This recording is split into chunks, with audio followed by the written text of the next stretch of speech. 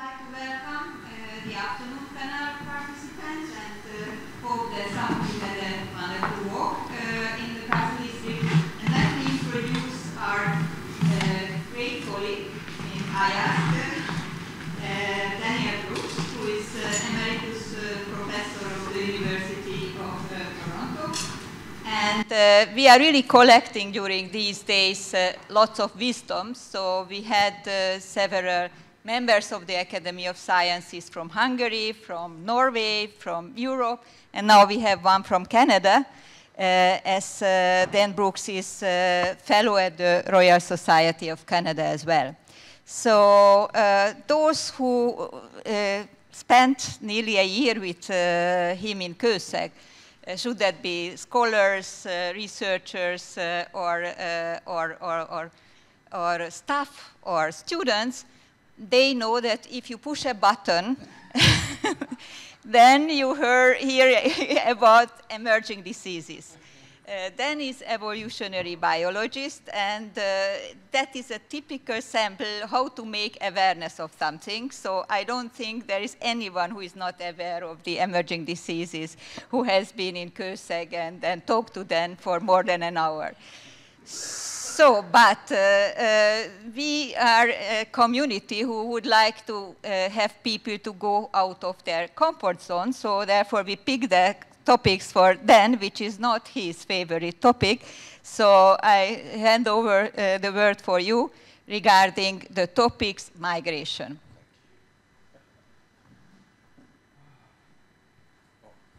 This one? Not that one? This one's better? Okay. Uh, thank you very much for that wonderful introduction. And um, I would like to um, express my, my great appreciation to everybody at iASK for uh, both the intellectual environment and the personal environment that I've experienced in the time that I've been there. Um, uh, as it turns out, you're not going to be completely spared from references to emerging diseases. Um, but this is partly because it's impossible to talk about any one element of climate change without discussing at least two or three others, you know, what we call threat multipliers. Um, everything's connected, blah, blah, blah, blah, blah. So what I'm going to talk about today is, is about the evolutionary biology of migration. I'm not going to say anything about what anybody ought to be doing about any particular issue with migration today. What I'm going to do is to explain why we have a migration issue, why there's a, a human migration problem, and I'm going to suggest some elements of that that you might not have thought about um, before, some of which have to do with disease. All right, whoops, sorry.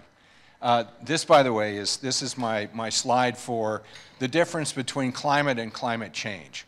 This particular photograph, uh, and it also has something to do with migration because it's from Mongolia, uh, and, and it's, it's a shot of, of a ger, of some, some migrating sheep herders. But the storm in the background is what's called a derecho storm. It's like a tornado that's been stretched out without swirling up. Now, when it occurs, something like this occurs in Mongolia, it's weather, it's climate. But when something like this occurs in Kőszeg, as happened about four months ago, that's climate change. Okay, an inconvenient truth.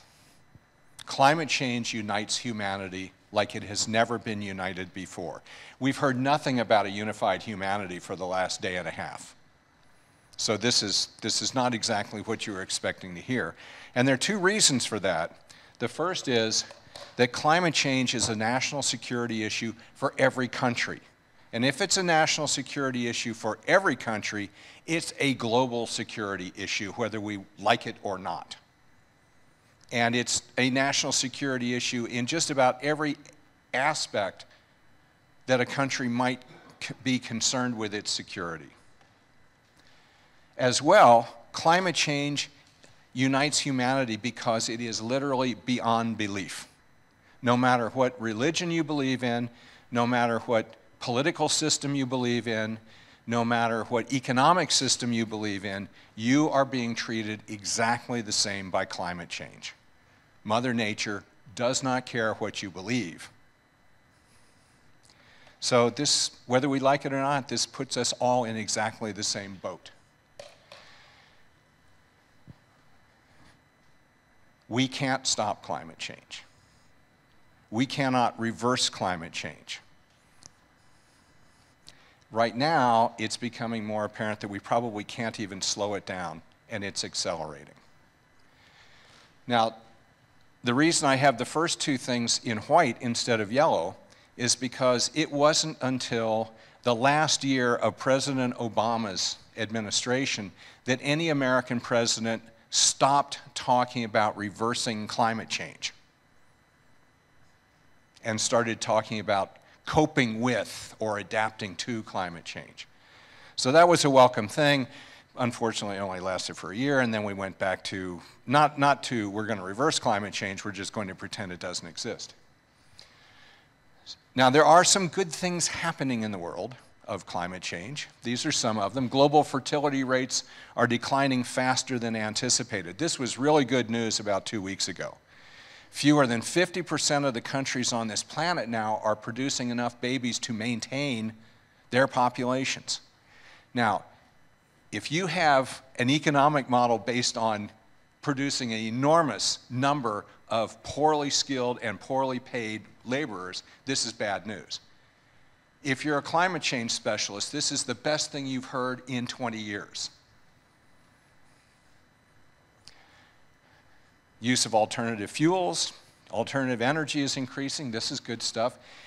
Generally, health is improving over the world. In, in particular, infant mortalities are dropping around the world, and fresh water is abundant.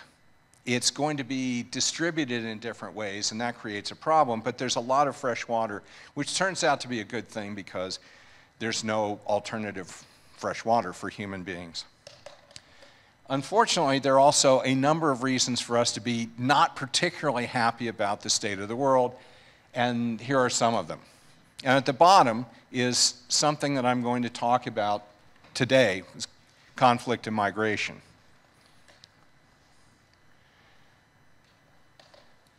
The, the first four items in white here are sort of the traditional views of sustainability. So over the last 30 years, meetings that I've attended, things, papers that I've read, uh, read and, and so on about sustainability have fallen into these four categories. We want a guaranteed future with no cost. That's what the politicians want. We want it simple and easy to understand. That's what the journalists tend to want. Uh, we want it to, to be the way we think it used to be. That's what the environmentalists want. And they're wrong because what they, what they believe, what they want to believe things were like in the past is not the way things really were. And then finally, there are the we want it the way we want it. You tell me what you want the world to be, I will engineer it. So those are sort of four different categories of sustainability studies. What I'm suggesting now is that the, the most recent information we have about what is happening to the planet is that we have to reframe that we don't have the luxury of worrying about quality of anything at this point. Our fundamental interest has to be in survival. So any questions about sustainability going forward have to start from the standpoint of not what we want, but what we need. And the first thing we need is to survive. And this, this connects with what, uh, what Yuri Chepely was saying earlier today. And uh, I just put that little thing in about the four laws of biotics, which we can talk about later if anybody's interested. We don't have a lot of time. We don't have a lot of time. It turns out that limits to growth, which has been incredibly criticized and misrepresented for being the apocalyptic, you know, everything's going to go, go to hell thing. Turns out that limits to growth was the most optimistic analysis that's still floating around. Even the IPCC has finally realized that the year 2100 is not a realistic point for us to start worrying. So at the moment, the consensus seems to be that 2050 is what we would call the LD50, or the lethal dose 50, uh, for humanity. Uh, LD50 is a term from toxicology reports. That's the, the toxicology studies. That's the, the dose in the laboratory at, at which your toxin will kill 50% of the lab rats. Um, the, the other thing that's kind of important about this is not only do we think we don't have a lot of time to do stuff, but there are very clear indications the biosphere is already starting to cope with climate change evolutionarily, and it's not waiting for us, as every evolutionary biology would anticipate. The biosphere is just taking care of itself. Science has a critical role to play because finding things out is better than making shit up. Okay, so for example, Humanity knew in 1896 when Arrhenius published his, his study that industrial output was going to warm the atmosphere. In 1896, Arrhenius said, at current production rates, industrial outputs will put enough carbon dioxide into the atmosphere to raise global temperatures, atmospheric temperatures, 3 degrees Celsius by 2100. The problem was that he was, he was also a great humanitarian, and he said, But this will be a good thing because it will lengthen the growing season and we'll be able to produce more food to feed all of those workers that we need to power the factories. Well, no, but nobody's perfect, right? 1958, Charles Elton, famous British ecologist, said, Humanity has never faced climate change of the magnitude that is happening now and is coming at us and he predicted that the two major outcomes, the two major threats of climate change going forward were going to be conflict and migration. When he published this book, Dwight Eisenhower was the President of the United States. We now have Donald Trump, and in between, a whole range of presidents of varying political types, different parties, None of them paid any attention to this. And of course, the United States wasn't alone. Nobody paid any attention to this. Okay. The black elephant, this is a combination of the elephant in the room and the black swan. Okay? This is, this is something we didn't anticipate, but once it happened, we ignored it. Okay? And that is that biology is really central to this. It's not a matter of let's do some physics and then let's immediately jump to social systems. Because the reality is that climate change is created by life. If there was no life on this planet, nobody would care. Nobody would be studying, you know, no exobiologist would be from some other planet would be studying this place. And all the life on this planet is evolved life. So the story of climate change has to involve life, and if it involves life, it has to involve evolution. That's not, I'm not saying that evolution is going to explain everything, but any explanation of what's going on that does not involve the evolutionary history and evolutionary capabilities of life on this planet will necessarily be incomplete. In these following ways. The first thing we have to understand is that evolution is brutally short sighted and relentless.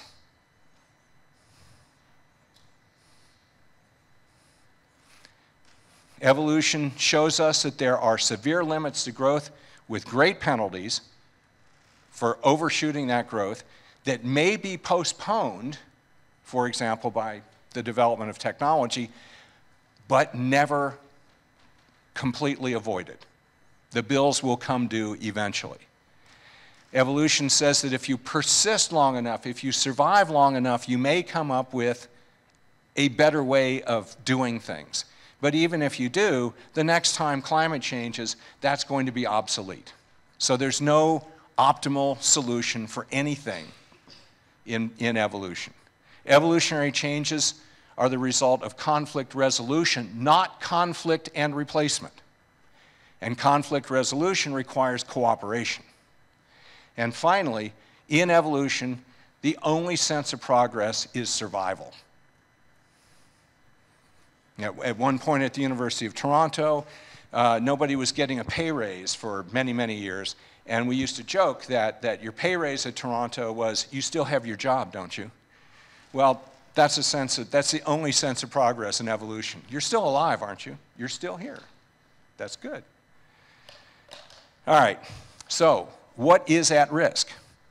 It's not the biosphere. The biosphere is not at risk. And this is a real problem for uh, the funding campaigns for a lot of environmental organizations because it's, they're all based on the notion that the biosphere is extremely fragile and we've just about broken it completely. And if you don't send them a bunch of money, things are going to, to just disintegrate. Well, the fact of the matter is, the biosphere has been hit with far greater insults than anything we're doing to it now and it's always been capable of regenerating itself. Lao Tzu said that new beginnings are often disguised as painful endings. And it turns out that every mass extinction event on this planet, which was due to some major environmental perturbation, has been an evolutionary reset.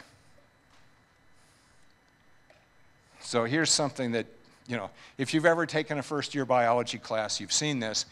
So through time, we have situations in which evolutionary diversification occurs. There's a massive environmental insult that causes a lot of extinction. Re-evolution, massive insult, extinction, re-evolution. And it turns out that the, the rate of re-diversification is actually inversely proportional, I'm sorry, is directly proportional to the magnitude of the insult. So the worse you treat the biosphere, the faster it'll, it will evolve in response. You can't kill it. You can, unless you blow up the planet, you cannot kill the biosphere. This is good news for the biosphere. Now, here, in a nutshell, is everything you need to know about the dynamics of evolutionary diversification. If the conditions change, you run away. Alycia Stigall, who's this brilliant paleontologist at Ohio University, has, has amassed an enormous amount of information about this. It turns out that if you go back 500 million years, 300 million years, to these major mass extinction events, the species lineages that survive are the things that run away. They're not the things that stay there and heroically cope with what's coming at them. They run away and survive to fight another day. If you can't flee, you try to cope, but mostly that doesn't work. And if you can't cope, you die. And that's what all the extinctions are about.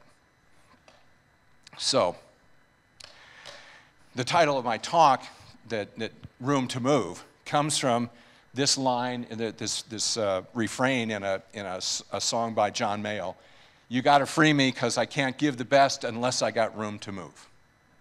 In other words, if you can't run away, you're not going to survive major climate change. That's evolutionary history.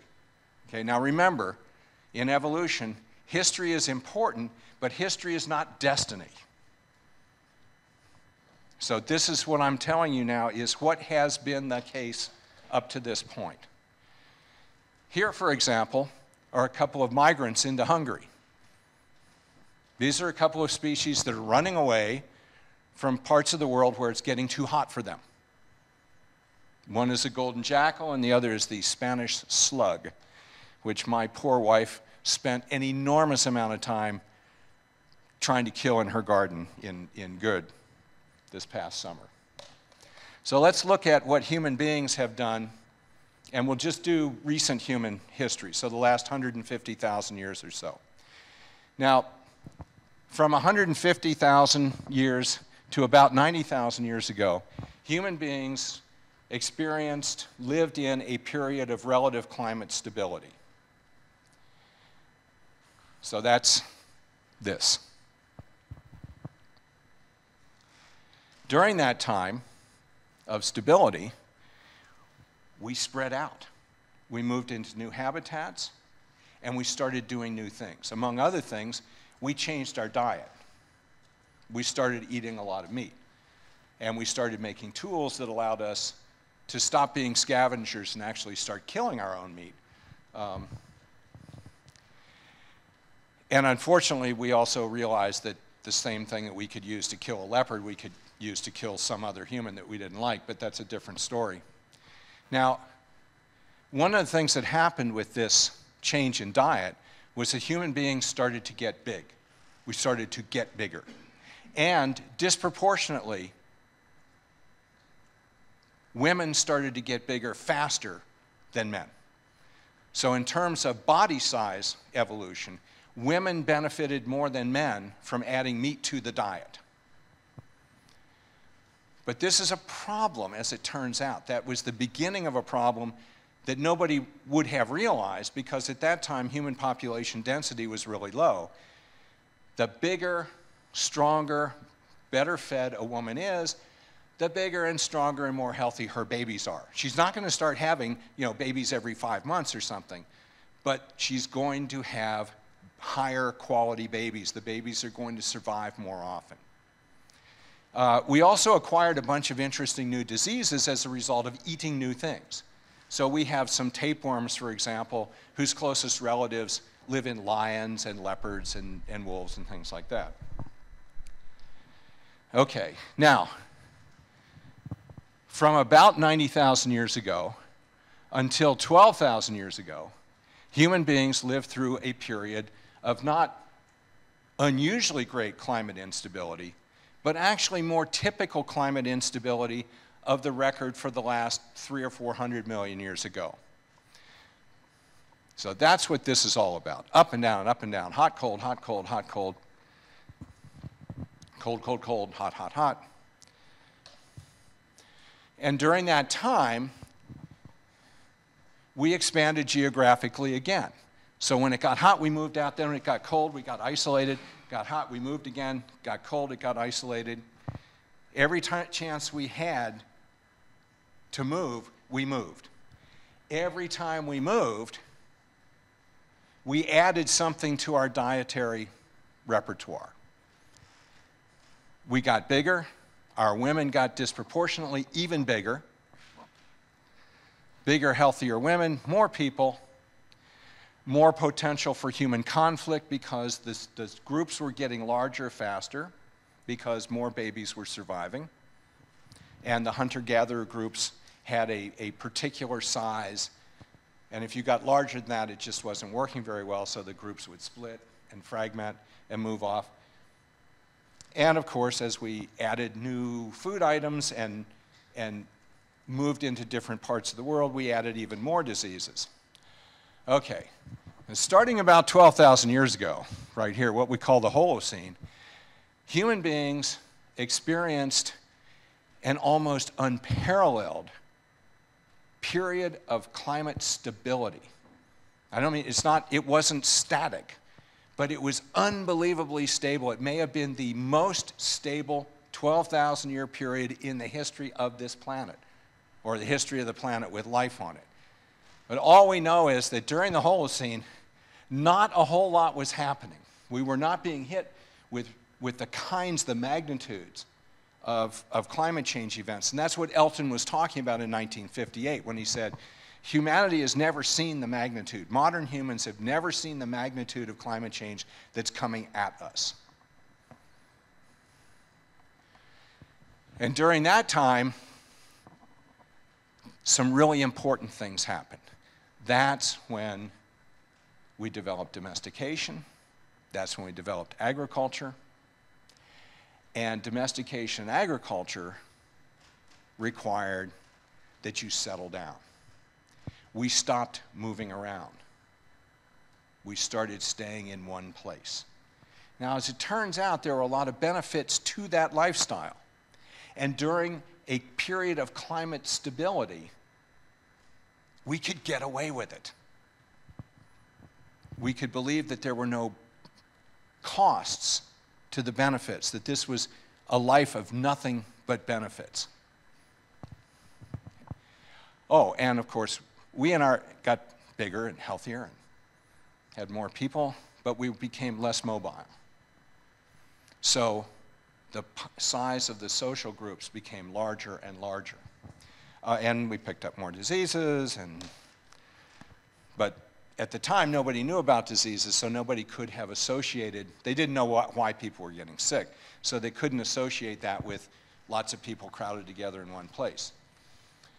So by about 9,500 years ago, human beings were building fairly permanent kinds of, of, of living spaces, even if they weren't staying there all the time. Okay, but they were at least not moving around freely. They would, would either be in one place forever or they would always come back to the same place.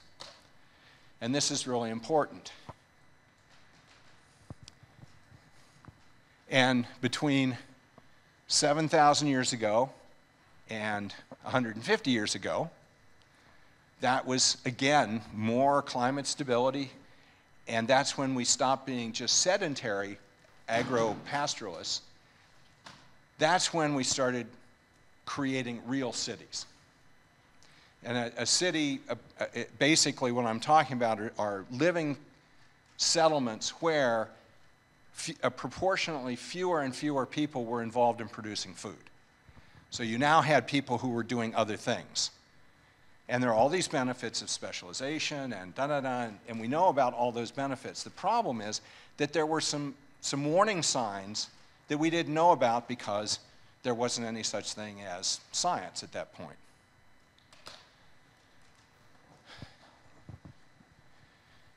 We stopped moving around. We stopped moving around a lot in a sense.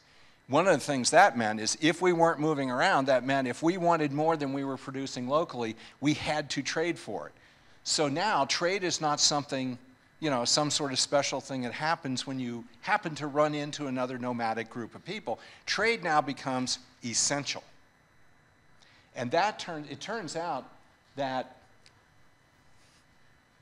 we had been trading for a, a very long time. There's now evidence of trans-Eurasian trading routes from the Paleolithic, way earlier than that. So human beings had already been trading, but at this point, it was not a luxury. It was a necessity. And we were getting bigger and healthier, and we were getting more, less mobile. We were having more kids, populations were getting bigger, the cities were becoming places where lots of really good things were stored. And by about 9,000 years ago, we have the first archaeological evidence of organized warfare against settlements. Because it's easier to come and take somebody else's stuff than to make it yourself. All right. Now, during this time, this is from 7,000 years ago until 150 years ago. 250 years ago. There were short but intense climate change events. Okay, when I say it was relatively stable, it doesn't mean it was flatline. There were fluctuations, of course. And, and I have heard people say, oh, yes, well, don't worry about climate change because human beings have been exposed to climate change before and we did just fine. Turns out that's a lie. Every human civilization that has been hit with a major climate change event in the last 7,000 years was destroyed forever and never returned. And this is, unfortunately, the, the lights are up, but this is a photograph of Angkor Wat at dawn. Angkor Wat was a wonderful civilization destroyed by climate change. Fluctuating flood, drought, flood, drought cycles broke the water system and after about 30 years of trying to cope with it, the people who lived there just said, the hell with it, we're moving. And they moved about 200 kilometers away, but they never built another city like this. Same thing happened to the Mayans, the same thing happened to the Tamils in Sri Lanka.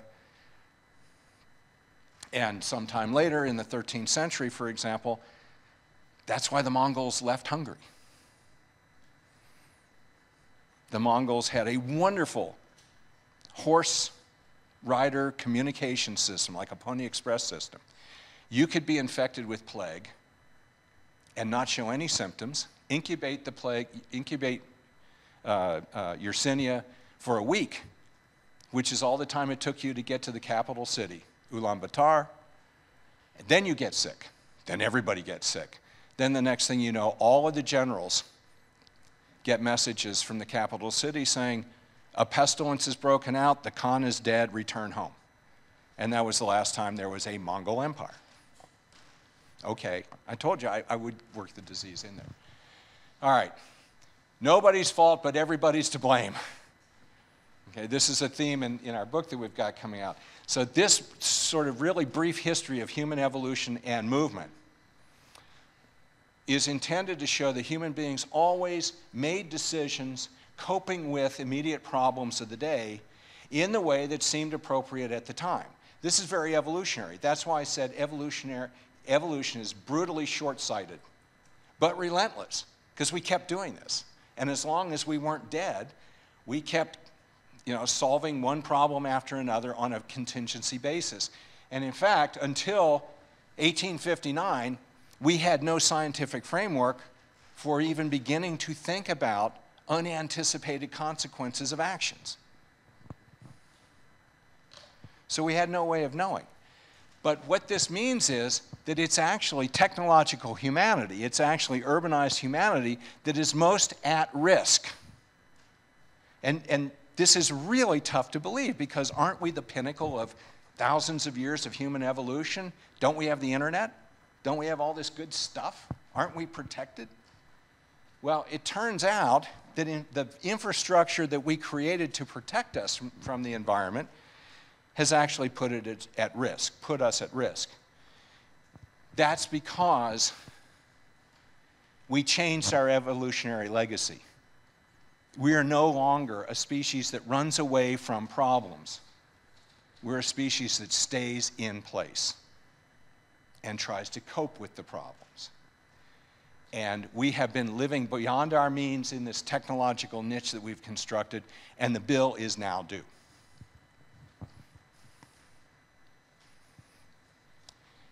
Here are some problems with living in a modern city. Modern cities are density traps and they are connectivity traps. They are places where human beings are crowded together, and they're places that only exist because of hyperconnectivity with other places. And as a result, they are extremely susceptible to a number of things, uh, one of which is, oh, disease. Okay? In 1950, 30% of human beings lived in cities. By 2050, the, this is a very conservative estimate. It's probably going to be higher than that. Um, but at least 70% of the world will live in cities. Now, between 1950 and 2050, what we have done is in the last two generations, we have produced two generations of kids who are almost entirely urbanized children. And that, that turns out to be important going forward. So now I'm going to talk about some migration issues in the context of what human beings have done to themselves. In other words, why do we have a migration problem? The first migration problem we have is high density of human beings. A hundred years ago, this month, the Spanish influenza pandemic killed 10% of humanity. And at that time, Less than 15% of human beings lived in cities. We now live in a situation in which the human population density, and influenza is a disease that is spread in proportion, it's a person to person contact thing. It's spread in proportion to population density. Human beings now, not only are there four and a half times more human beings than in 1918, but in addition, we have four and a half times the population density. Okay? So we're looking at this is why Bill Gates is worried about the next influenza pandemic. And the other problem is we've never been able to reconstruct the genotype of the particular strain that caused that pandemic. I mean, we've been work, we've even dug up corpses from the permafrost in Alaska to try to isolate it and haven't been able to. So we don't know where it is, what it is, when it's going to show up again. So that's one problem. And this is a problem for a city like Budapest, for example, because of migration from the countryside into the city by Hungarians. This is a Hungarian migration problem. Here's another migration problem that I showed you before. Okay? These are migrants coming into Hungary. The golden jackal from, this, from the Mediterranean, the Spanish slug from, oh, Spain. These guys carry, among other things, carry echinococcus, which can cause severe fatal brain infections in human beings. These guys, some of you may have seen, some of you younger ones in particular, may have seen the story a, a, a week or so, or ago or so about the guy who ate a raw slug on a dare and he got infected with rat lungworm and died.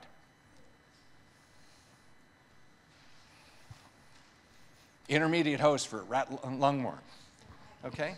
And these are migrants. Okay? So, in a sense, other kinds of migration problems we are talking about turn out to be really small. This is, you know, and this is just evolution. This is just what has always happened. This is what people do, it's what animals do, it's what plants do. So we really do need to think outside the box. Climate change is accelerating. We're probably past some tipping points already. We're into this second order world. We can't afford business as usual, and inaction is not an option. You know, as, as Tomas was saying yesterday, if you don't know where to go, at least go in one direction because standing still in one place is, is not going to be a reasonable choice. We can't return to the past. So forget all of this back to the future crap. Besides, every woman in this audience knows that the 13th century was not a great time for women.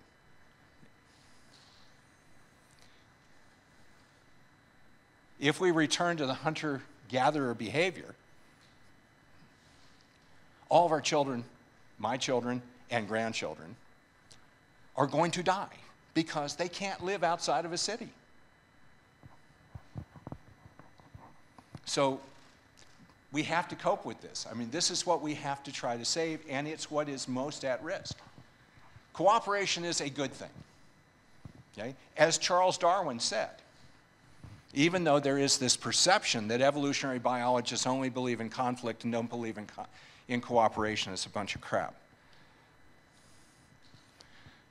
The most fundamental form of psychological denial is hope. Hope is completely irrational. Hope is denial in the face of reality. I hope that guy who's pointing a rifle at me doesn't shoot me. So let's think of climate change threats as the things that came out of Pandora's box. Well, the whole story of Pandora's box was at the bottom, crushed at the bottom of Pandora's box, it was almost missed, was this was hope. Let hope out. And the real story about Pandora's box is that you can't cope with all the evils of the world if you don't have hope. Okay? But hope is not a plan. Hope is only a reason to have a plan. So, what do we think about with respect to actually doing something?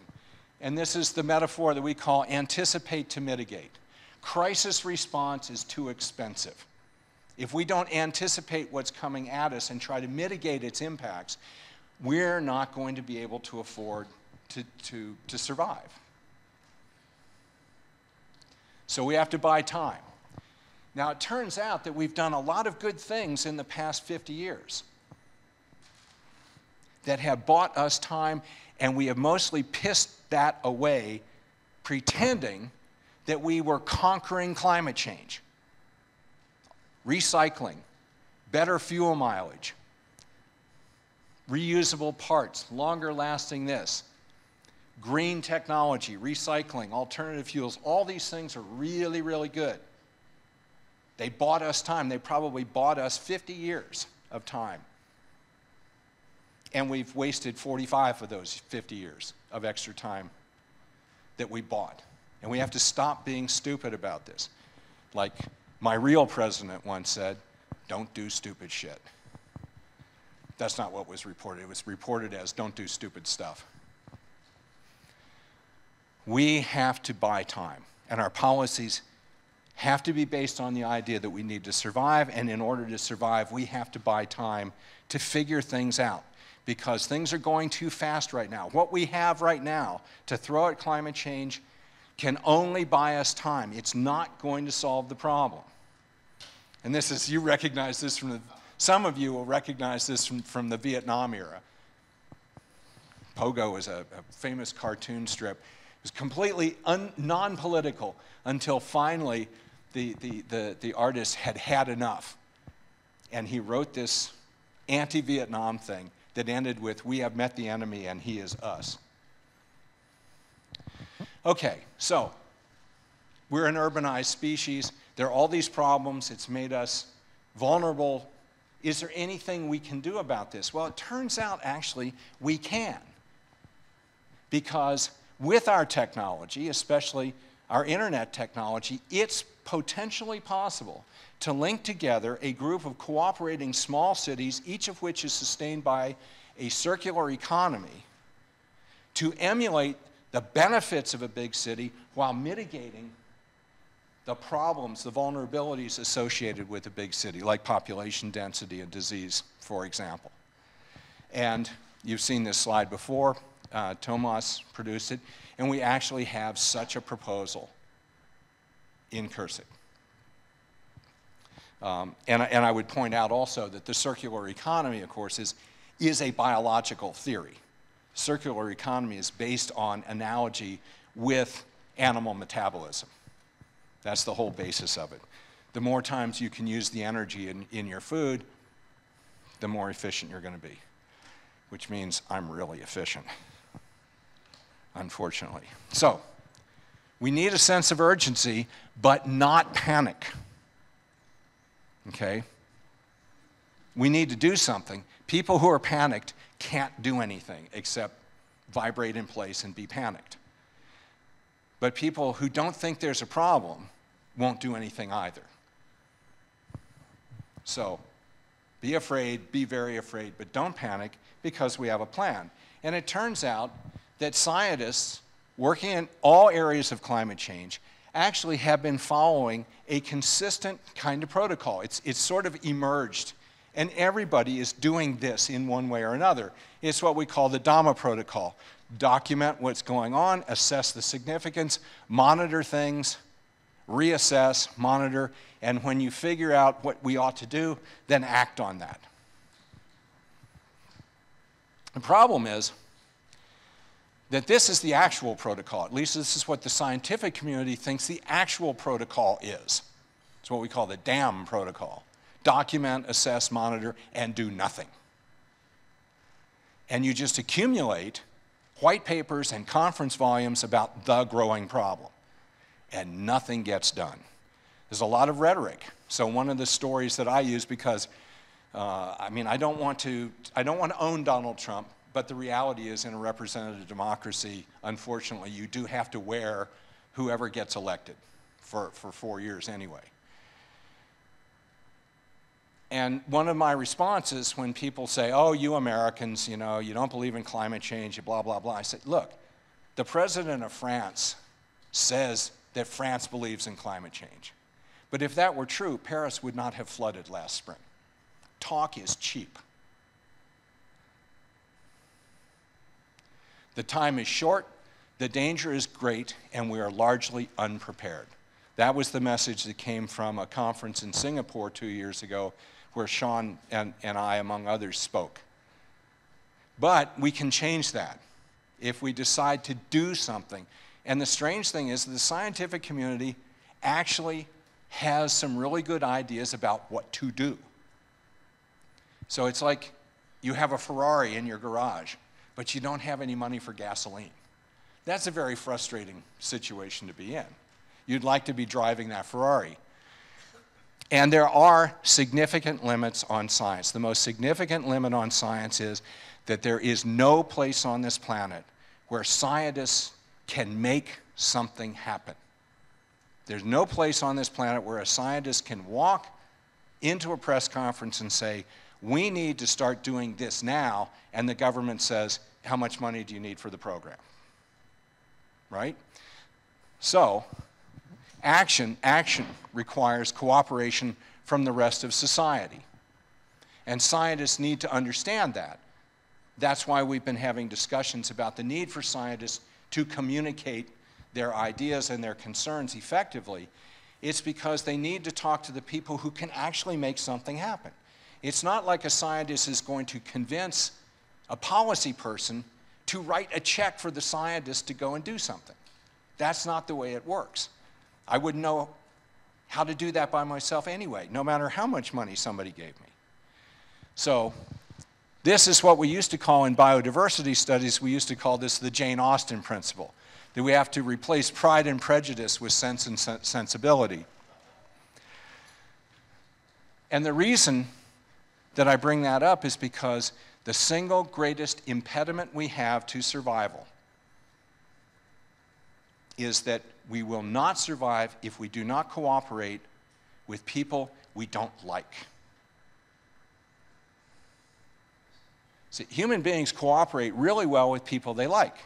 This is a group of students from Ohio who took a semester off from university to go to New Orleans to help with reconstruction after Hurricane Katrina. Now, they're not, they didn't know any of the people there, but they were other Americans, they were people they felt empathy for, they were members of the same country, and so on. Human beings are capable of great amounts of cooperation, but it has to be with somebody we feel warm and fuzzy about. And overcoming that piece of our, our evolution, because for many, many years, it was not necessarily a good thing to automatically feel warm and fuzzy about the next stranger that came around the bend in the forest. But we cannot defeat a common foe if we're at war with ourselves. And very shortly, if it's not already true, there are only going to be two kinds of places on this planet places that people are running away from, and places that people are running to. And we have to understand that. We have to acknowledge that this is the new reality. Now, Eldridge Cleaver said in 50 years ago, and he was speaking about race relations in the United States, that there is no more neutrality in the world.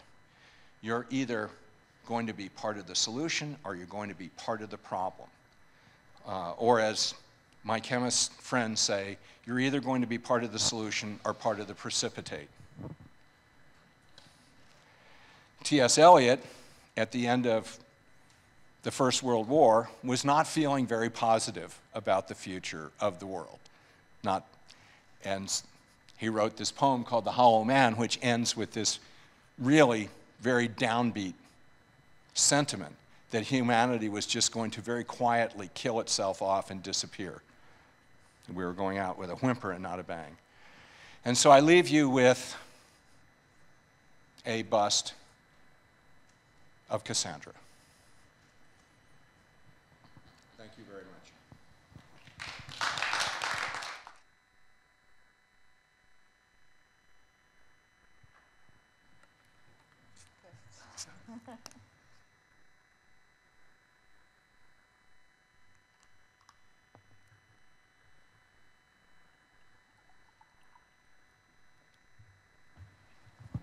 Thank you, Dan. And that's the first, the minimum you deserve. and uh, yeah, uh, I think uh, uh we covered uh, the history of the biosphere, so coming uh, from quite far away. And we were seeing migrating animals and um, actually we're touching upon solutions. So my question is that uh, we had also Claus Offe asking uh, what to do. So what are the three things to do? One was cooperation. Right.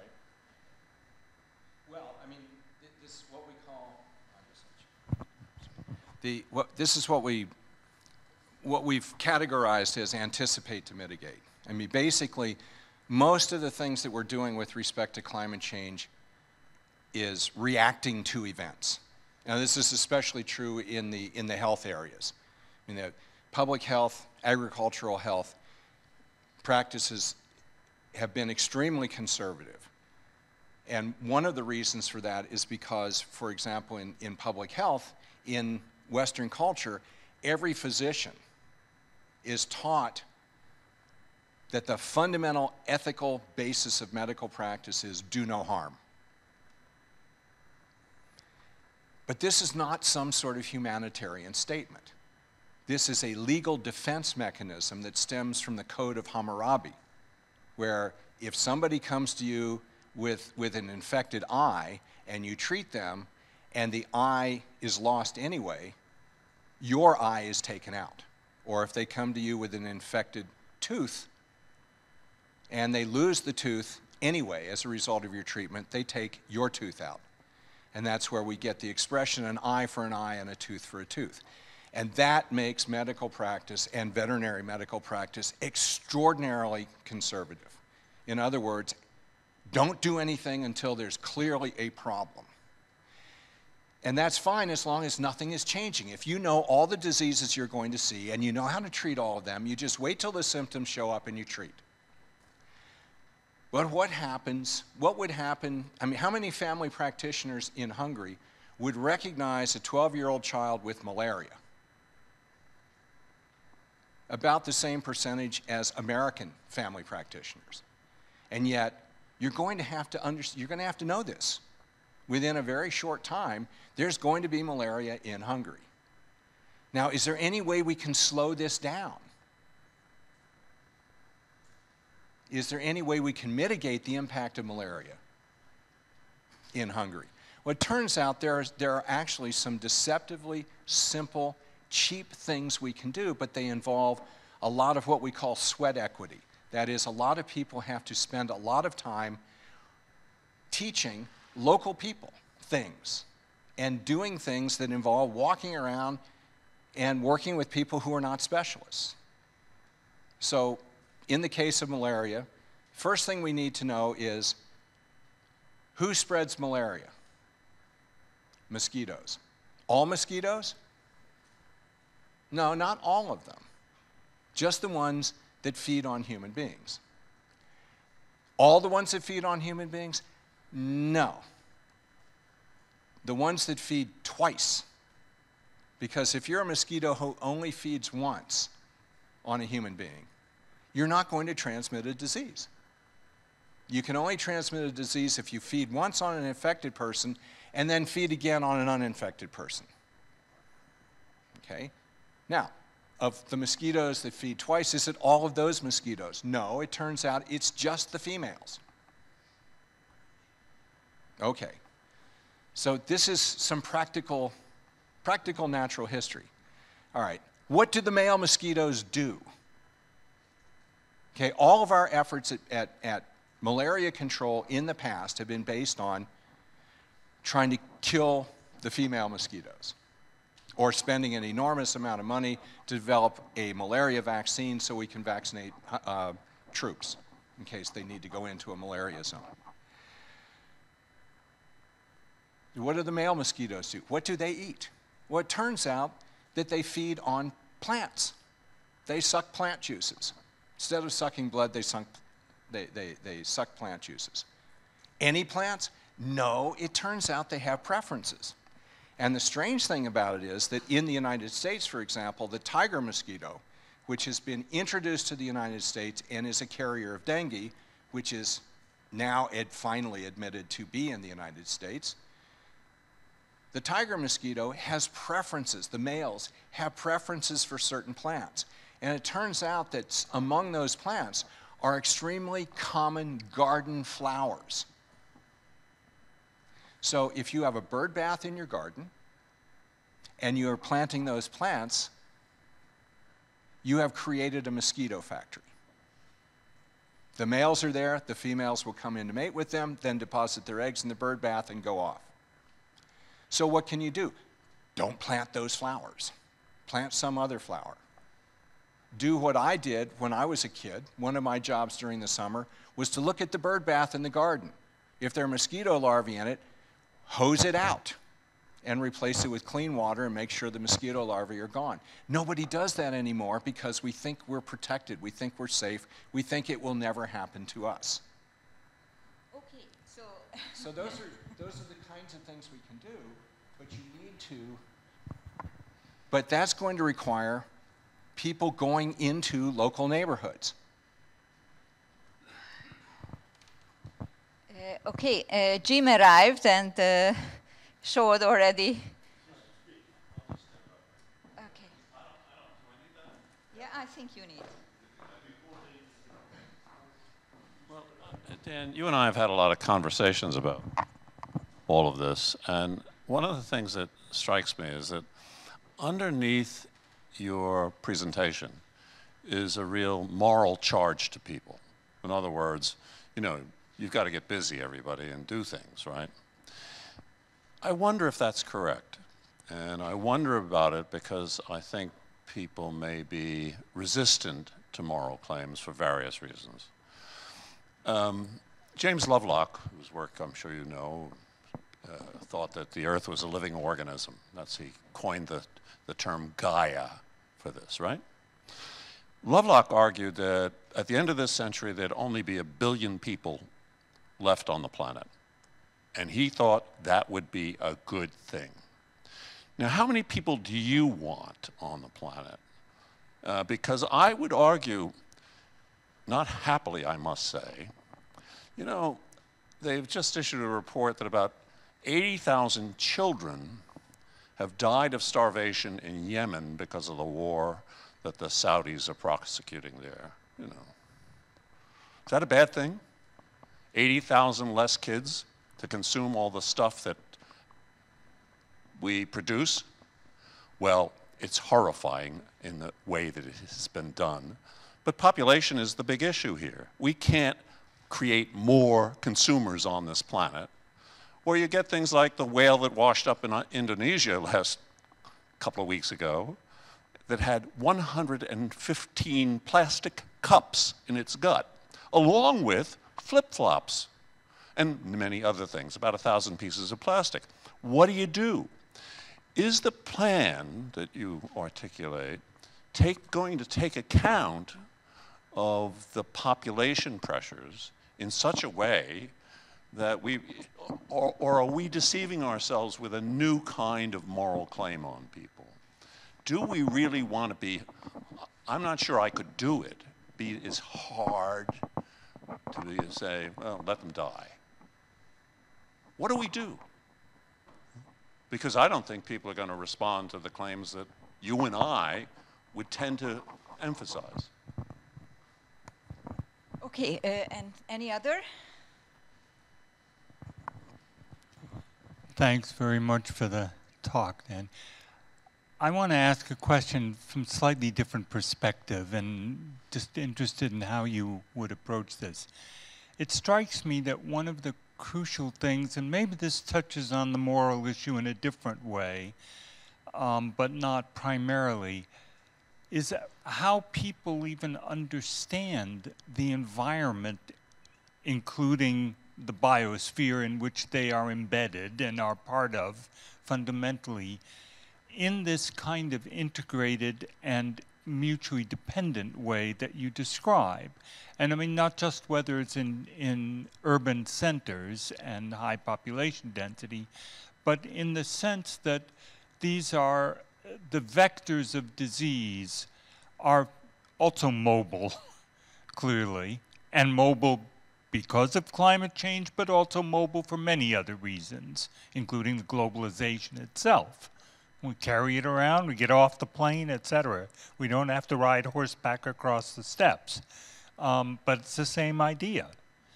But I think that, that one of the challenges we have, plan or not, is even engaging with people in such a way that there is a greater understanding and appreciation of the consequences of that. That goes back what I talked about earlier with the comple complexity and how people begin to understand systemic, cascaded, multiple uh, pronged risk.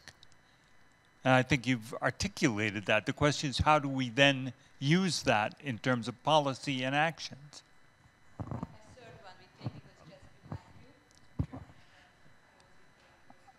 I'll be a little bit more skeptical about the human-based approach because uh, it will take years, decades, and generations to make a mass-scale uh, shift of mentality and get people to do things that they would do now.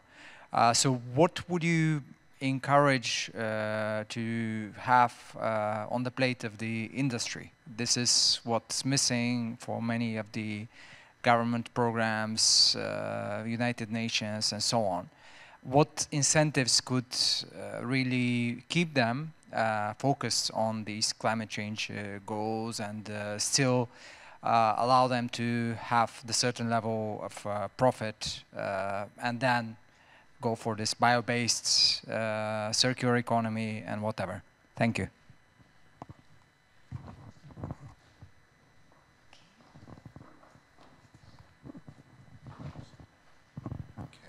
Well, let me, let me start with the last question because that's, I mean, it kind of then leads into the others.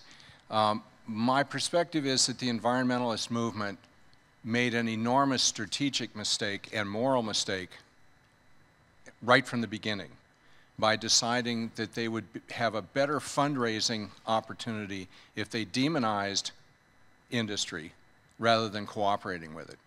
If, in fact, the environmentalist movement had gone to uh, say, Duke Energy Company in North Carolina 40 years ago and said, how can we work with you to guarantee your profits, which is all you want because corporations are psychopathic, in a way that moves towards renewable, non-polluting energy. So if we guarantee that you can make your money will you move away from this stuff that you know is a limited resource and you know is non-renewable and you know is polluting? And we didn't do that. So what is the situation in North Carolina today? Who is the largest investor in solar power in North Carolina? Duke Energy. Duke Energy will come out and install solar panels on your house for free if you allow them to drain off any overproduction that your house generates. So that's, it's happening. I mean, that's exactly, you know, we should have done it 30 or 40 years ago. We didn't, we screwed up, but it's happening anyway. And now the question is, this is, this is an inflection point. This is a point at which the environmentalist movement needs to pivot very rapidly and cooperate. Um, so that's, that's actually, I mean, all these things are easy to say conceptually, right? It's like aspirationally. Operationally is a little bit different. And so let me, let me now switch to, to Ilan's uh, comment. And this is going to sound like I'm evading the question and going off on a tangent. It's not really, I, I, as, as Perry Mason used to say, I will connect this up, Your Honor. Um, so before well, the reason I became aware of the evolutionary basis of the emerging disease problem was because of work I was doing at a conservation area in Costa Rica. And the work I was doing there was an exercise in socioeconomic development in rural areas of, of a Latin American country based on sustainable use of biodiversity resources. And it worked something like this. We would go into villages, we would identify people who, regardless of how much or how little formal education they had, were people who knew a lot about their local diversity because it's a mistake to think that people who live in a rich tropical area and haven't, haven't been to university don't know anything about the biodiversity. Um, and we would find the people who were exceptionally good, we would hire them to work in the conservation area. We would not send them off to university. We would just take advantage of the skills they already had in the area. They would work with the international specialists who came in. And they, of course, would talk to their neighbors about what was going on. Their neighbors would see, oh my God, you know, you're, you're making really good money doing this. And they would talk to the neighbors. One of the things that, that the, the firefighting brigade in that conservation area is made up completely of people who had been convicted of setting fires for poaching. And they were given the option of making more money putting fires out and they immediately said, This is great. We didn't want to burn down our homes, but we needed to do that to make money to feed our kids. So it turns out that it's actually, if you're willing to, to invest in human beings, it's, it's actually doable. We, we, we know how to do this and we have done it. And it doesn't, you know, it doesn't require, you know, turning everybody into some sort of, of PhD. It doesn't, remi- it doesn't require taking people away from their homes and their families and so on. Um, and, and so that's part of the reason that, that I have uh, confidence that this bottom up uh, approach can help with, can, can work if people put enough energy into it. And I know that that can connect really well with the specialists because that's what happened. I mean, the last time I had a grant renewal, uh, based on the work I was doing in the conservation area, we were reporting 120 scientific publications in the previous six years. So you end up with this enormous amount of scientific production as a result of putting some educational effort into people who had sixth grade educations, who had a strong vested interest in the quality of life for their families in the local area. And so that, that can work. Now, to connect from that over to Jim, is that another thing about Costa Rica is that Costa Rica has the lowest birth rate in all of Latin America. And we did this exercise in the conservation area about 10 years ago. We made a big chart. There are 140 Costa Ricans working employees, mostly women, working in the conservation area. We just made a very simple chart. All their names, how many brothers and sisters do you have? How many children do you have? One generation of giving women economic opportunities 6 2, 9 2, 8 1, 11 0. One generation. You give women educational opportunities, economic opportunities, they will regulate their, their reproduction. And what I want is not to impose anything on anybody. I want people, the maximum number of people around the world, to have the opportunity to decide for themselves. And in some cases, they're going to make poor choices, like the United States. The United States has, in fact, with respect to climate change, if 2050 is a reasonable inflection point, major global inflection point. The United States, because it's so big and its bureaucracy has so much inertia, the United States will not make it. NASA projects that between 2030 and 2050, drought in the middle section of the United States will cost the United States between 35 and 65 percent of its food production. If it's 35 percent of its food production, the United States disappears from the global marketplace because that's what the United States foreign trade is based on, is food. It also affects the countries that depend on that food, but the United States will continue to be an entity with people, but it will not exist on the global market. If it's more, if it's something like 50 to 60% of the food production, then the United States will be in the interesting position of asking for food support from all the many friends it's been making around the world for the last 30 years. Any question? Yeah, uh, you can all comment that uh, you would like to have uh, other more extensive. From others, if other people have questions, but I, I just want to respond because I think you point, pointed to something really important, and I. I didn't mean that only in this case. Um, no, I think your point is very well taken in terms of both the education and the way you engage with people. I mean, this is something, you know, many people have done, myself included, in terms of transdisciplinary, really engaging in populations. A book that we've just finished will come out this week or next from Springer on uh, social transformations, which is done through a set of 40 some projects in which we did used local people as engaged in the science with the whole community, not the outside parachute in scientist. So I completely agree with that and, and very much support it and am uh, thrilled to hear about it. My concern was a little bit different, and that is the people in the educated communities all over the world who are nominally, again, well educated. They've been, they're involved in commerce, they're in policy, you name it. But they don't get their vulnerability in this context. That's what I was concerned about. That's, that's actually uh, one really critical thing, because that's,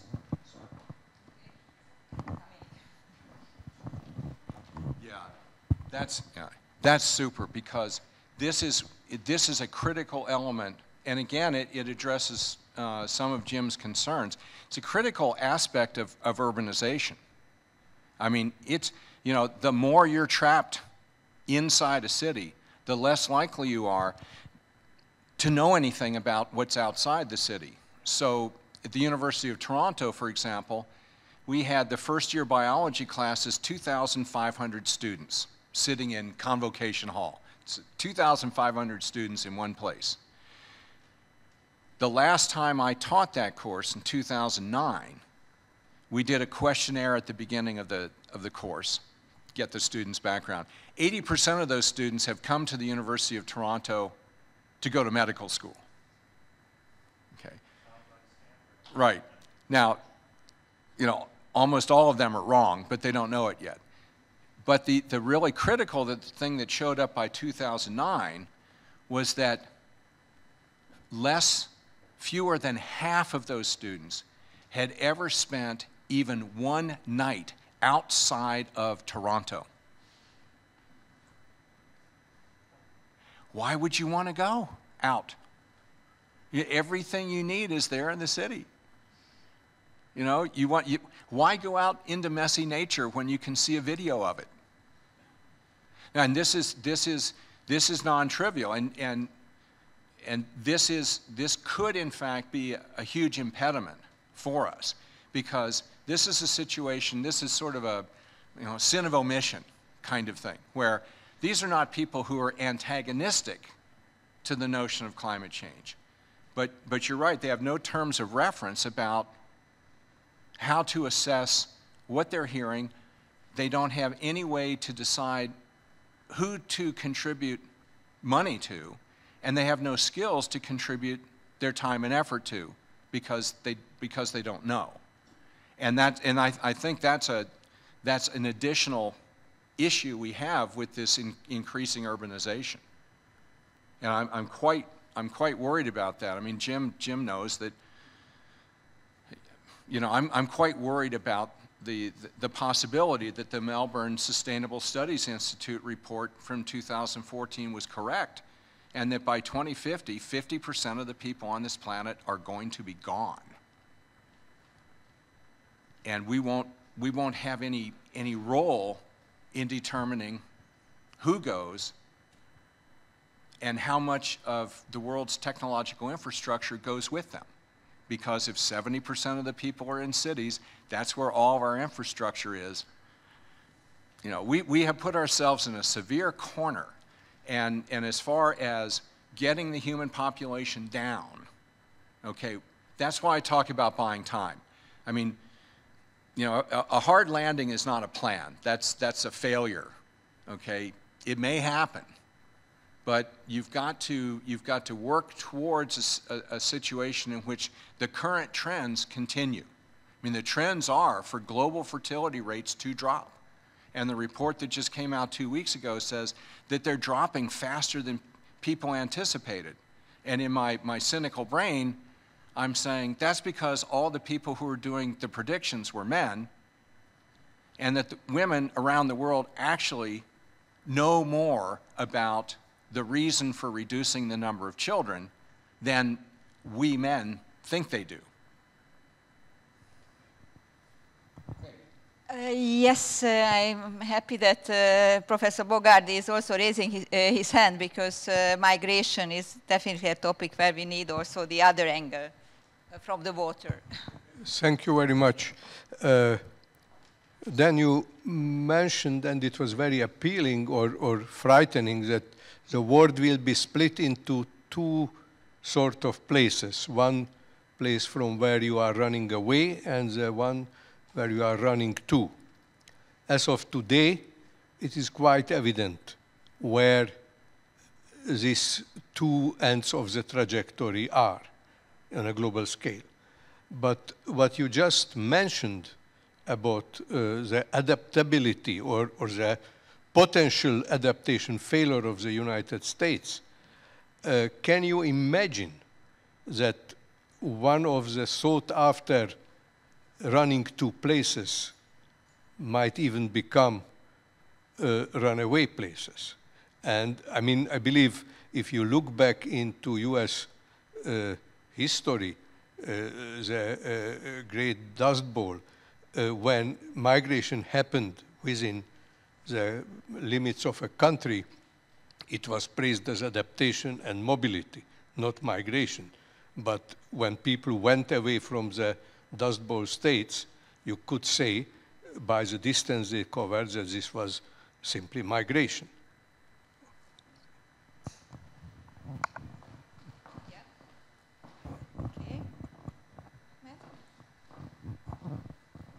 Yes, thank you. Um, I have a. Uh, I, I think we're facing uh, a, a disaster, but there are paradoxical aspects of it. So I uh, wanted to uh, ask you about uh, the dilemma I'm facing. Uh, that, for example, in teaching energy, uh, we look at the uh, projections of uh, population and essentially 2040 population projections go to from 7.3 now to about 9.2 or something like that. And uh, yesterday, Sean sh showed that 2050 is uh, even higher, and so on and so forth.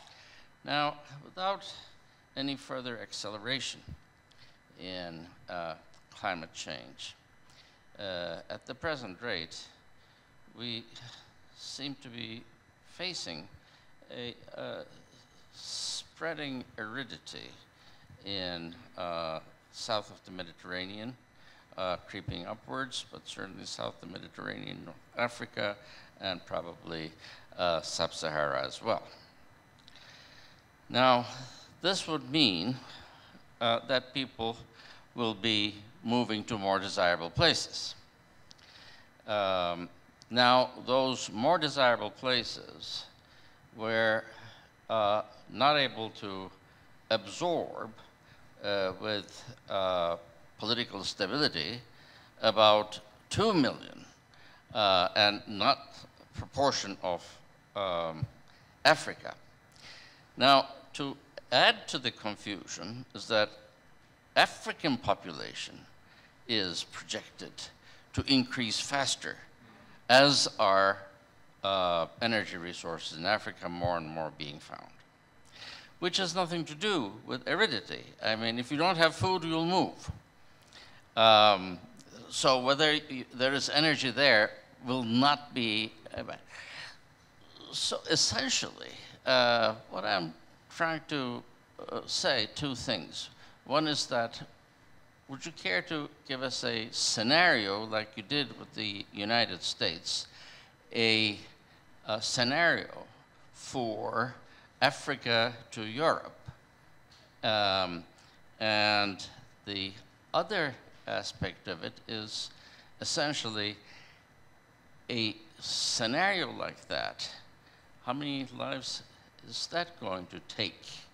Um, because there isn't that much time for uh, voluntary or uh, uh, perceived need to reduce fertility.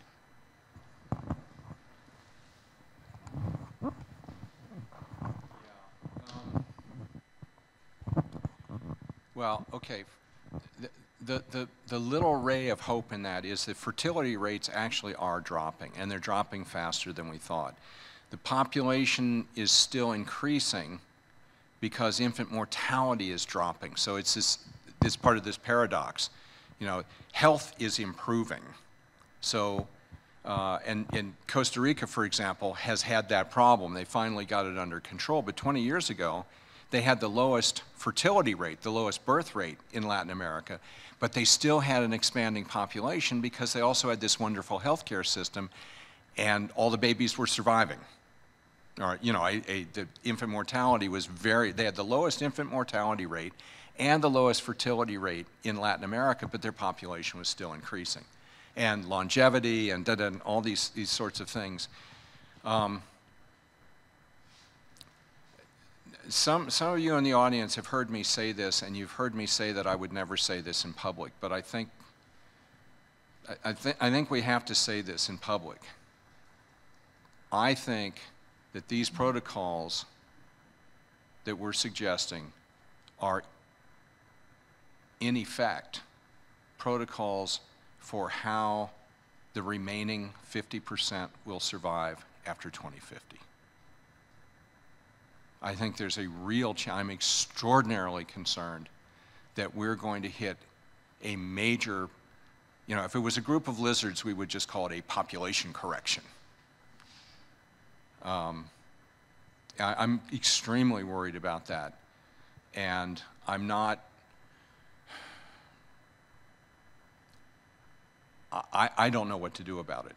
I mean, I'm, I'm, you know, I drop back into sometime in the next 20 years, some 18 year old somewhere, you know, in Cape Town or Nairobi or Hokkaido or somewhere is going to have some kind of insight that's going to do something. But I don't, I can't imagine what it would be. I don't know. Um, the, the, the projections that I've always, always been working with on, on population growth was, were that we would asymptote at about 2,100. And, and after that, if we were able to survive past 2,100, that after that, the human population would begin to drop in absolute terms. So, again, that's why I talk about buying time. Um, but that's, that's, as Sean says, that's aspirational. And, and my worry, and, and I'm hoping that it's just because I'm an old man. Uh, my worry is, is that we're in, we're in deep shit. And I mean that in the technical sense. Um, and so, I mean, what, what, you know, what you guys are saying is, is the, they're the same worries I have. But I come from a, a cultural background and a generation and, and, and a place Washington, D.C. in the 1960s, where there was a, a, you were conditioned to believe that there was great virtue in fighting for a good cause no matter what the odds were. And you would just simply, it was better to go down fighting than to give up. And so I, constitutionally, I'm, I'm incapable of thinking of failure as a, as a plan. But I'm not delusional and I'm, I'm really worried.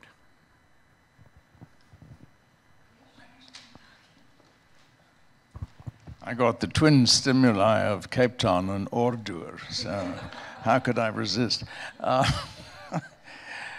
uh, so let me ask a question and then make a couple of observations which are not intended to frame your answer to the question, but perhaps to elicit a response more broadly.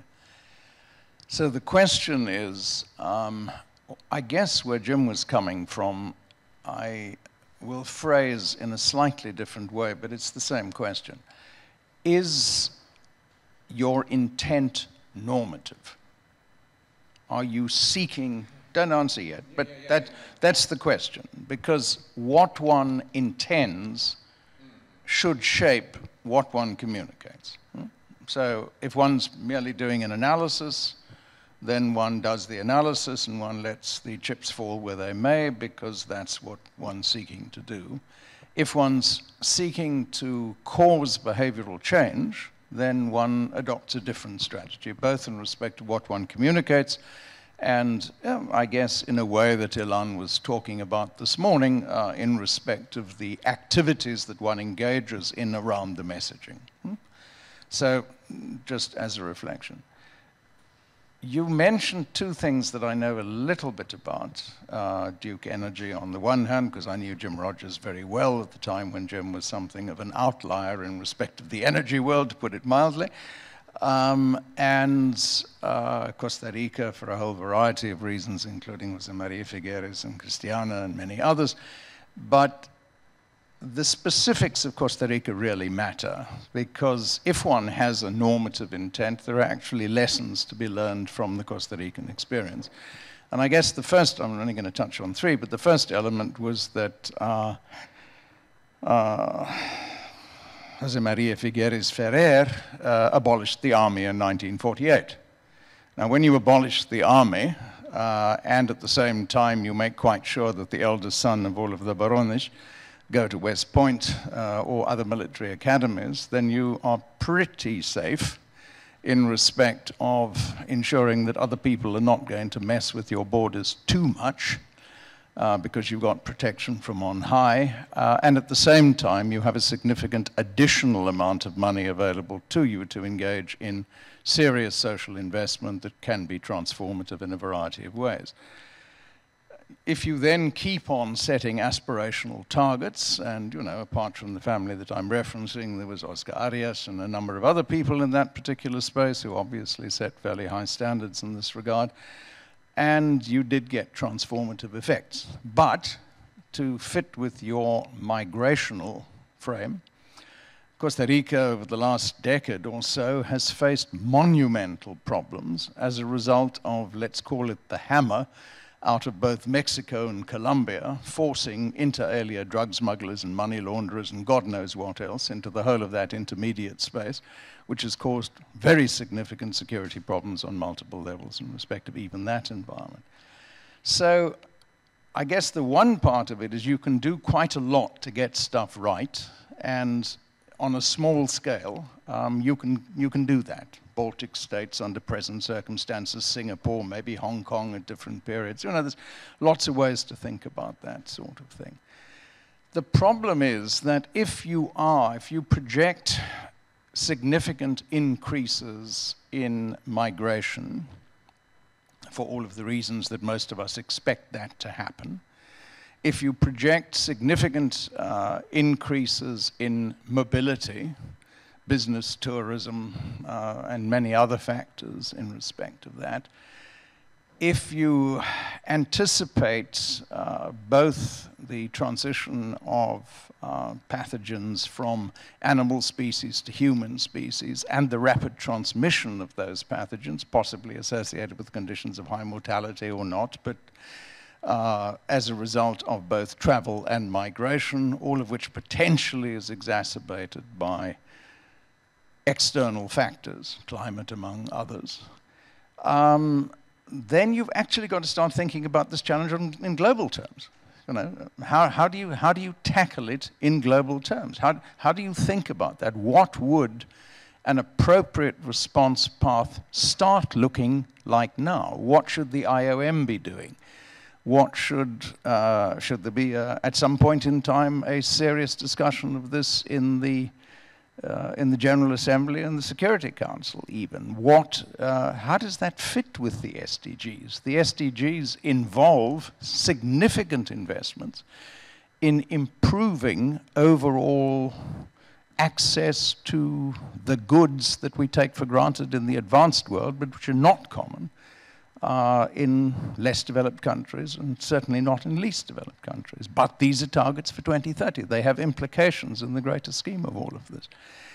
And I suppose finally, how does one deal with current population projections, which, so that I don't have to go through the math that gets you to the point that I'm going to end at, are likely to result in 2.5 billion more people in cities by 2050, 90% of whom will be in Africa and Asia, uh, on the basis of present projected population movement. Now, in the scenarios that you're bringing to bear in this regard, these are all rather central elements. And if one does have any normative intent within the framework of this, we've got a hell of a lot of work to do. Yeah, well, I would say that the first thing we have to, to recognize is that, um, and that's why I said business as usual is not working. And that means every single organization of any kind on this planet. The record is every single organization that we have set up, every bureaucracy that we've set up, non governmental, international, local, blah, blah, blah, they're not working. They're not working. Okay? Now, in the case of, of health, uh, it, it would be wonderful if anybody in the public or agricultural health system would talk about proactive measures. But it's not profitable. Okay. Prevention is a lot cheaper than, than crisis response. Okay. Diet change, if I lost weight, I would be at a lot less lot lower risk for having to cost somebody's healthcare system to do a coronary bypass operation on me. And we, we know that with respect to non infectious disease dynamics with the other you know, non, non-infectious disease health issues. We know that prevention is better than, than crisis response. But we're not doing that with, with emerging diseases because it's not profitable. Now, I'll give you an example. Everybody who's, got, who's raising domestic pigs in Hungary lives in the countryside. And whatever piece of land they have, they expand their fence line out to the edge of the land that they own so that they can have the maximum number of pigs on that land. That means that the fence is right up against the edge of the forest. Every spring, the veterinarian comes in and says, Oh, your pigs have the following things. I will medicate them for these worms, I'll vaccinate them for this. He makes some money, and he's really happy because he knows that next spring he'll be back doing the same thing because the domestic pigs are getting reinfected by the real reservoir of the disease, which are the wild boar in the forest on the edge of the fence line. And the veterinarian knows that. But he's not going to cut into his repeat business. The pharmaceutical companies know about antibiotic resistance. They have learned antibiotic resistance basically is an indication that the pharmaceutical industry has learned how to make a profit from natural selection. What you do is you insert a chemical between the human immune system and the microbe. You force the microbe to adapt to the chemical. You do not allow the human immune system to even see the pathogen. So there's no net benefit from that. And as soon as the microbe adapts to that antibiotic, you pull it out and you put another one in and charge more money for it. It's wonderful. It's repeat business. It's good stuff. Same with vaccinations. The most productive 20 year period in human history for the production of vaccines was 1880 to 1900 we have been falling behind in terms of length of time to development and cost for vaccines ever since 1900. In 1913, the first effort was undertaken to develop a yellow fever vaccine. 1928, 15 years later, no progress. At that point, A man in Uganda who was infected with yellow fever had a blood sample taken that was plated out on a bunch of different culture dishes, sent to labs around the world. Ten years after that, somebody recognized that one of the cultures had mutated in a way that just fortuitously allowed them to make a vaccine. Instant Nobel Prize, of course, blah, blah, blah, great success story. So that's 1938. That's 80 years ago. Fast forward 80 years, 100% of all yellow fever vaccines given on the planet today come from that one mutated strain. We have made zero progress. Polio is reemerging. And here's how it reemerges. We have two polio vaccines. I can still remember lining up with my schoolmates to eat those sugar cubes. My parents were so happy. I was too young to realize why they were so worried. Both of those polio vaccines, the Salk and the Sabin vaccines, are both weakened virus vaccines. You're being, you are ingesting viruses that are not dead. And the assumption is that your immune system will fire up antibodies and kill off those weakened viruses. But what if you're immunocompromised or immunosuppressed by malnutrition and other diseases when you're vaccinated? Then the virus reconstitutes itself in the environment. So when I was in 2017, when I was in Stellenbosch, there was an outbreak of, of polio in Congo. It wasn't in an area where people weren't being vaccinated. We've got, we've got severe, severe problems, and yet those are the people who are determining the agenda. They're the ones who are saying, you cannot do anything proactive with emerging diseases because we can't predict them. And if that were true, if I say malaria, everybody in this room instantly thinks mosquito. But I didn't tell you what part of the world, I didn't tell you which species of malaria. And yet, you're all correct because the ecology of all these malarias is so specific that we can anticipate an enormous amount of what's coming at us with respect to malaria, and we can do something. But that's just basic natural history. It's not biotech, it's not expensive stuff, and it's not something that's going to maintain the profits of the corporations that drive the agenda. Would like to, or would you like?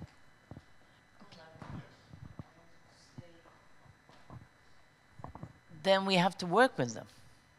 Is that what you're saying? You know, like the Duke, whatever. Um, then there has to be a way of working with them to somehow show them another way where they can make money and still develop things and and um, get over some of these shortcomings. I mean, because the last two days I've been hearing only negative um, points, which um, it's not clear. Okay, we may say that we're not going to be around, so that's fine, but our children, our grandchildren, their grandchildren, or our students are whatever, they're, they're going to be around. So um, we really, uh, and as far as I can see, the only way to work out these things is from grassroots. It's not going to be, because all I hear is that none of the policies, none of the things are going to work because they are either planned for a short time or planned for profit immediately, whatever. So if we want to survive, it has to come from the bottom.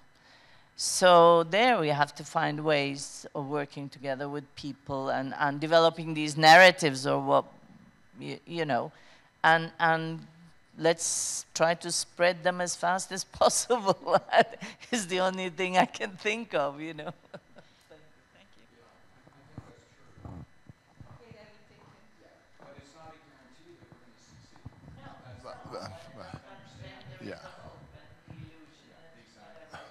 But thank, thank you, Dan, Dan really cheered us up again, and uh, we would like to listen to you endlessly and until we, until our, our appetite goes away, goes away forever. But um, there's no no no um, dinner then. Just um, but but it's very important to warn us um, um, all of the dangers you you you describe. But I think now is it's probably time to turn to to, to, towards solutions. So we are in the solution business, as we agreed. But first, before I would ask a practical question, I want to give it back the mic to Ilan. I have probably a probably very naive idea, and I, I'll stick my neck out and try it anyway. Um, and it is only partially formulated, but it's built on something that one of my former students um, now is an economist at the um, National Institutes of Standards and Technology, and she leads a group um, looking at risk and uh, disaster recovery and business development. And what they've done is developed a tool. Uh, I think the acronym is EDGE, but I don't remember what it stands for. Um, to make an estimate of the resilience dividend. And I'm trying to think how might we use that idea here? Because the idea is you've just had a major flood in uh, Colorado. Okay, the next one is only going to come in 100 years, right? Um, well, then we don't have to build anything. Well, okay, we'll spend some money, we'll build something, but what if it doesn't flood again? We've wasted the money. This is terrible. Well, no. If in fact you the the discourse now shifts to the idea this is an investment in what they're calling the resilience dividend but what I'm just noodling about, trying to blunder my way towards, is is there a way we could think about a health resilience dividend? Oh, yeah, yeah, yeah. And, and it would work in every country that has a national health care system. So it would not work right. in the United States. But it would work in any country, any country that has a national health care system, any reduction in costs is going to take a burden off of the people. Okay? So that, that's, that's the dividend. So, for example, that's why Canadians spend less in taxes for their healthcare system than, than Americans do in insurance premiums for the same quality healthcare. And I know that because I lived in Canada for 30 years. And, and Canadians spend much less for pharmaceuticals because the government went to the pharmaceutical companies and said, you know, we're going to buy generics unless you bring your pr prices down. And, and it worked. Sure. But, but I'm in, the, in exactly the same way. The argument to every country that has a national health care system, prevention of any kind is cheaper than crisis response. That's the argument. And it doesn't, you know, you don't have to have a guarantee that you're going to reduce everything. I mean, we're not going to stop all of this stuff. This is going to come through. There are going to be problems, dot, dot, dot, dot, dot. But to be forewarned is to be forearmed. You know, all these platitudes. An ounce of prevention is worth a pound of cure, blah, blah, blah, right? But it's true. I mean, they're all platitudes, but they're actually true. And ultimately, it becomes a question of cost savings.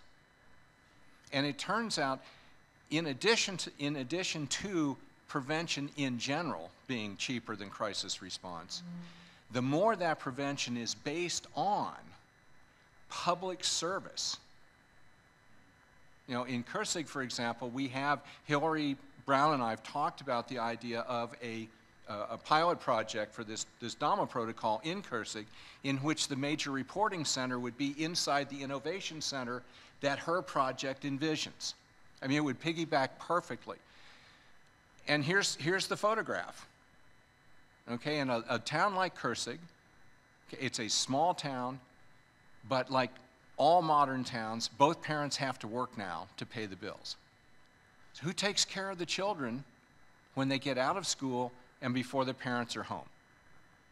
Turns out to be the same people who've lived in that village for 65 years and know everybody and everything. So here's the poster. It's a backlit photograph of grandpa with the grandchild, and the grandfather's pointing at a tire with water in it, and the grandchild has the cell phone out, taking a picture of it, and is going to report that into the reporting station. The grandfather has no idea of how to do that, but the grandkid does. And the grandchild is being taught something about basic epidemiology. The grandparent and the grandkid are doing something together. I mean, and it's cheap. It's, it's a lot of sweat equity, what we, what we called sweat equity in, in the biodiversity arena, right?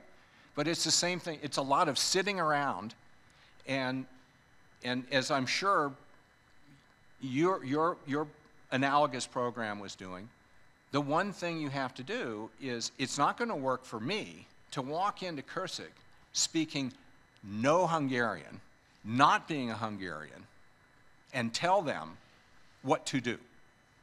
That's, that's the best way to fail.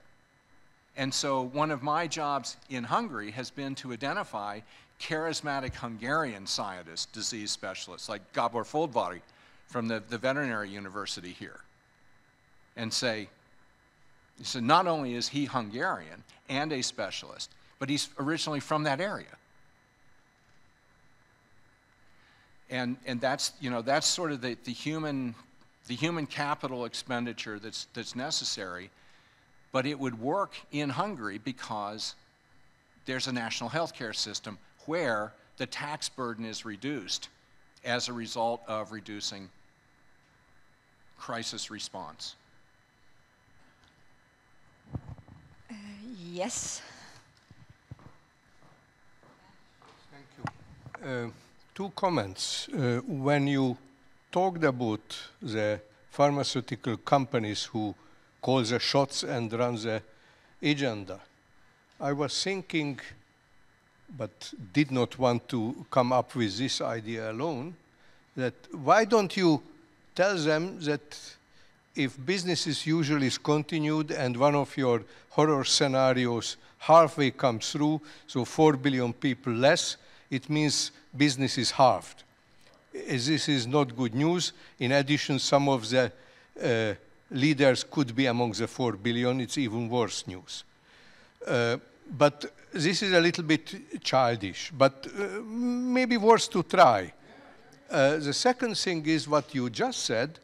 It is uh, where we can uh, clean in our own doorsteps, academia, because what you are telling again, it's not only uh, to educate well people, but to educate them to educate, to create a kind of, of agency or a kind of uh, professional moral into our students, uh, and of course a value system in academia that those who go out and look for those sixth grade educated people who can, can do the next step of dissemination and to get some reward, not only in a conference, not only from retired people who are not anymore able to promote them to a better position in their own career.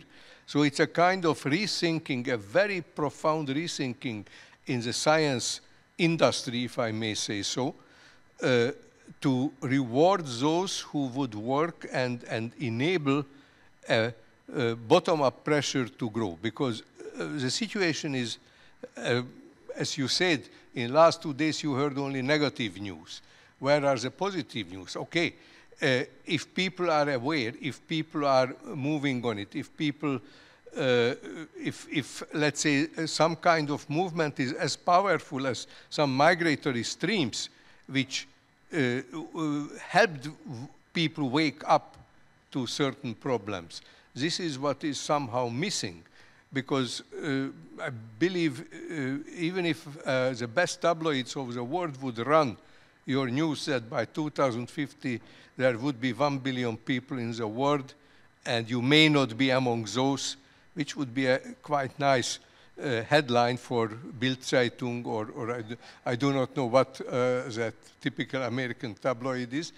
But uh, so this is, this is where I believe uh, it's, it's homemade message. We can do it and we should do it and, and work to or, or uh, rectors or presidents and say that uh, this is what educational moral is and professional moral. Thanks.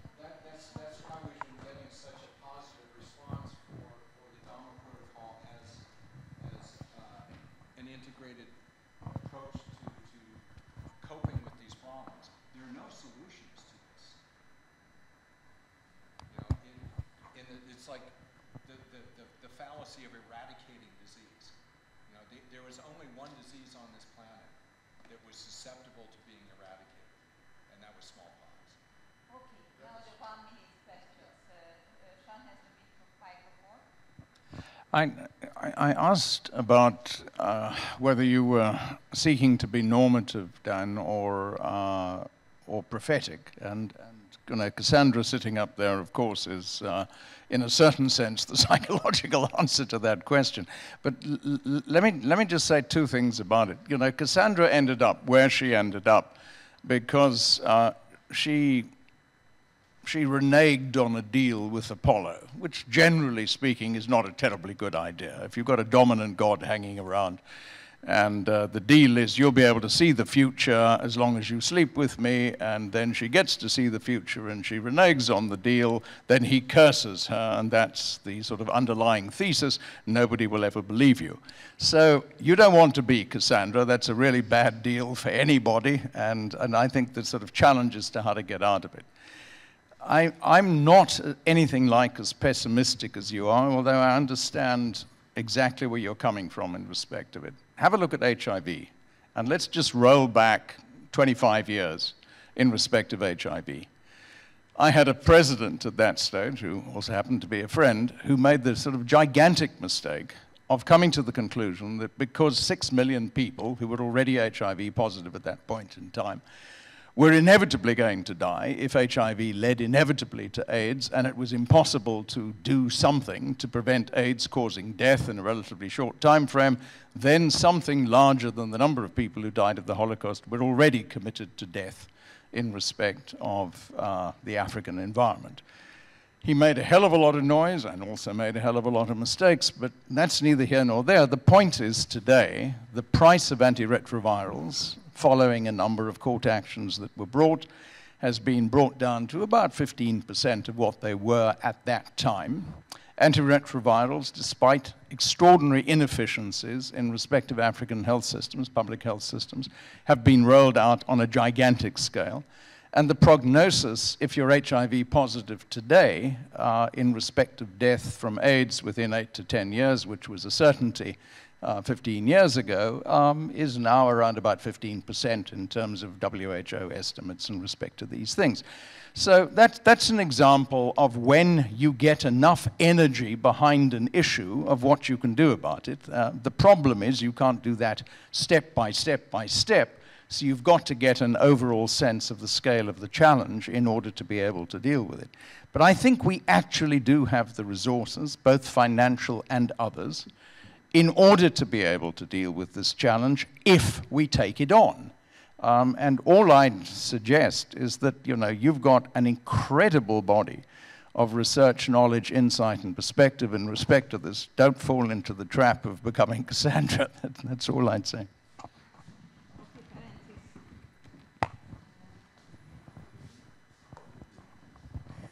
Thank you, Sean. I think we should move further a little bit. Um, or, go deeper into the solution business um, instead of just threatening each other with a completely gloomy future.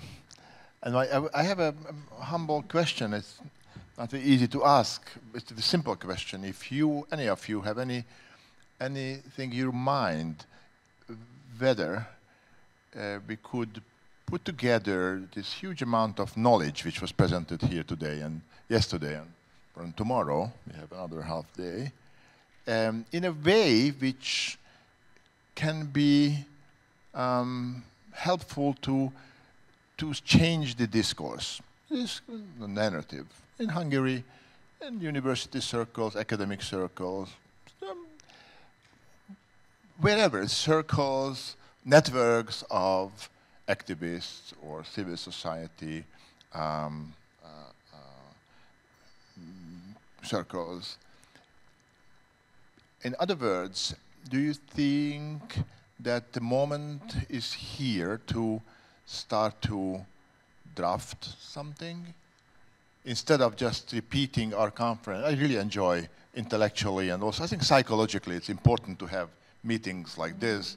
Um, very high level of expertise, people basically like each other.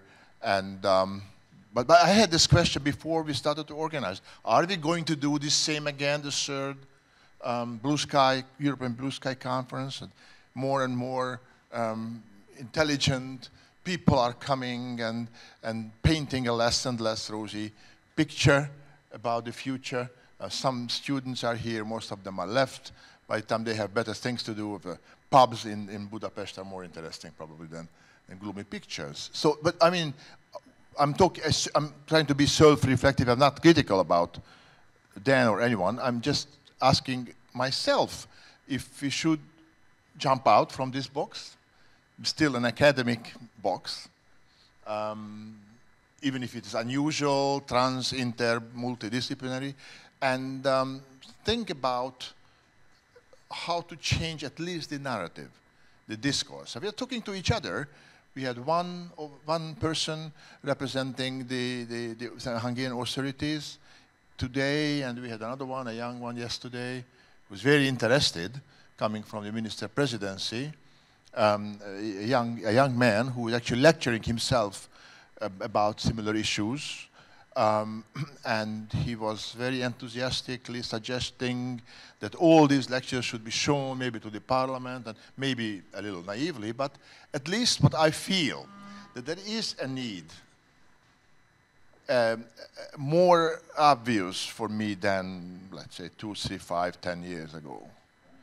There, is, there are still deaf authorities, ministers and ministries, and global and international organizations falling apart or becoming, unfortunately, Trump's phase was not so bad about UN, a coffee clutch, more or less ineffective, suggesting things which states are, are refusing, yeah? not having dialogue. So again, make it short. Do you think there are any ways we could start a different dialogue, a different discourse? And if yes, then what? Because just publishing a report or, or what we was talking about with Janos and some others, um, a manifesto, it, it, it's a good idea, but there were a lot of similar things, maybe tens of thousands of similar um, scripts will follow. Um, so can we bit, become a little contemplative and reflective on this, maybe today uh, over dinner or tomorrow after the, the last talks? Or if you have an, any anything uh, immediate suggestions, I would be very much uh, personally interested. So what, what, what do we do? We, we start to organize the force Blue Sky? No, I just wanted to bring into the discourse uh, uh, the notion of care uh, because I think we've been, you know, a little bit um, going around and around it, but we never really addressed it head on. And it always comes up with the notion of women, and you know, women do this, women, women can get active, and women. Um, uh, when they realize that there's economic opportunities or, or uh, uh, uh any kind of possibilities, then the birth rates uh, go, go down. And we always talk about us in, in that regard. And I'm wondering if we kind of change the perspectives uh, and the discourse to a more feminine discourse, talking about care instead of state security, talking about uh, not just Mother Nature, but but also institutional systems in a way in which we are talking about actual people and we are talking about uh, uh, upcoming generations. Tomorrow we will have a, a, talk on children and children in migration situations. And I think that that will be a nice um, kind of moving towards talking about the, the upcoming generations and, and what to do with this. And uh, I just wanted to already bring this notion of care into our heads.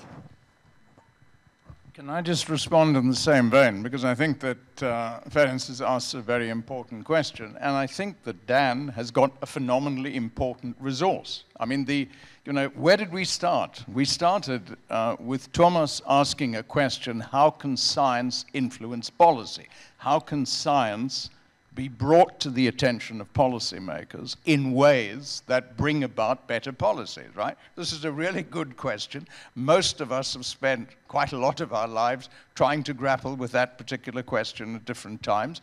And some of us have been successful occasionally, and all of us, I'm sure, have failed occasionally as well. But, you know, I, I, I think the exciting thing about this is that you have got in terms of this forthcoming book, which we really hope is going to get published sometime this year. Um, but you, have got, and well, maybe next year, but uh, in, in within 12 months, the, you've got an extraordinary resource because you've collected a phenomenal amount of material which highlights the issue in very profound ways. The consequences in the event of business as usual are fairly horrific. Um, and under those particular circumstances, it behooves us, in the most fundamental sense, to find ways of turning that in order to influence policy outcomes. If we don't succeed in doing that, we're all bloody useless, to be perfectly honest. There's nothing extraordinary about that. So, so that's, that's all I was saying about don't be Cassandra in respect to this. Yeah, yeah, yeah. Have an impact, you know, get, get the outcome. Now, let me offer just three things very quickly. I've, I've told you the HIV story, and the HIV story is within uh, broad parameters, an accurate summary of the current situation. But what I haven't said is how part of it happened. And one part of it happened because Bill Gates, at a particular point in time, and for Bella's uh, to Bella's point, under Melinda's pressure, he wasn't doing that because it struck him as a brilliant idea, came up with the construct that it was necessary to develop a means of sharply reducing the cost of pharmaceutical products for large scale delivery in respect of what were called at that moment diseases of poverty. Right. All right? So it was malaria, HIV, uh, TB. That was the sort of spectrum, and out of that grew the Global Fund, triggered inter alia by discussions that he drove at Davos. And then subsequently, you actually got a, I published it years ago, but you actually got a value chain that preserved money for the pharmaceutical companies by allowing mass purchasing by international organizations thereby sharply reducing the margin per unit sold necessary to maintain the profitability of the pharmaceutical company, and that enabled the pricing, the predatory pricing, to be perfectly honest, of a number of pharmaceutical products in those areas to be undertaken. So there are ways in which this has been done in the past. There are ways to address these challenges in the future. You need to sharpen the focus, and then you need to develop solutions that enable this. Large-scale purchasing at guaranteed volumes is a mechanism for the reduction of pricing. It's done every day of the week in every country of the world in respect of anything that's purchased in bulk. So if one has a reasonable construct of what we need to be investing in, because right now, that I think is lacking in the minds of most policymakers in this regard. If you have a reasonable construct of what we need to be investing in, I don't think it's beyond the wit of this group with a little bit of help from friends uh, to be able to develop business models that make it perfectly viable to be able to address a large chunk of this. One last observation. I think we all, I have been, some of you know it, this week in Washington, New York, London, Vienna, back to London, and now in Budapest. That's disgusting. It's truly disgusting. It's completely stupid. It's not good for my health. And quite frankly, if I applied my mind to the question of how much of what I've done in this week was vital, as opposed to just something that I had on my calendar, hmm, I don't think I'd have traveled a half as much, probably a third. So, one of the things, one of the vectors for the transmission in this regard is the ridiculous amount that everybody is traveling all the time. I mean, it, it, whoever it was, was it you? I can't remember, Ilan. Somebody said the only vector is not migration. There are tons of other vectors in this regard as well, and travel is a fundamental one. The idea that because more Chinese are now have passports, we're going to see a 10x multiplication within 12 years of the number of persons traveling around the world is an outrageous thought. Right? It, it doesn't make any sense at all. We, we, we've got to start rethinking the way we live in respect to these issues. So that's the second dimension of it, and there are probably 10 others. Oh, I wasn't expecting it so fast. well, you mentioned that yesterday. I said, uh, how do we bring science to the politicians? Um, but I also said, how do we bring it to the economy leaders? How do we bring it to the media? And one important point for me is how do we bring it to the voters? And the people, and for the econo economy, it is how do we bring it to the people who buy products? I gave the example of Ursula Brunner. Mm -hmm. She first went to the politicians yeah. with her. They didn't want to listen. Then she went to Migros, and Migros said, well, we are not a welfare shop. Then she went to the people on the street, mm -hmm. doing all kinds of, let's say, activities, until more and more people started to buy their bananas in third world shops. And then Migros became interested because they saw, well, we can make profit here if we jump on this, I don't know what you say, bandwagon. Yeah. And I think it is very important not only to talk to political leaders, I think we have to convince the people in the street. Well, one of the.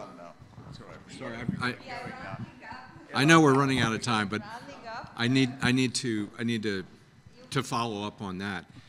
That's it's a really that's a really good point because, um, for example, one of the things that the, best the best funded uh, DNA sequencing and RNA sequencing laboratories in the world. Highest volume, best analysis and everything are in the pharmaceutical companies, the pharmaceutical industry. And um, one of the things that we've been, a project that's been underway for uh, 25 years now is handheld sequencing devices.